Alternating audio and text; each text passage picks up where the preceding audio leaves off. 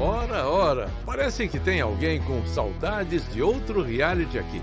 Não tem banho, não tem sabonete, não tem escova de dente, não tem pasta de dente. Totalmente diferente do BBB. Totalmente. E mesmo assim, pintou até promessa. A gente vai lembrar, hein? Se um dia, daqui 10 anos, chamam o ex, no limite, eu volto. Domingo, Kaysar está em No Limite, a eliminação.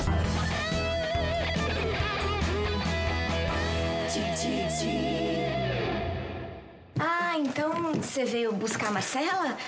Já? Bom, na verdade eu tinha pensado em ficar um pouquinho na festa. É, ao menos que seja uma reunião de mulheres. Festa?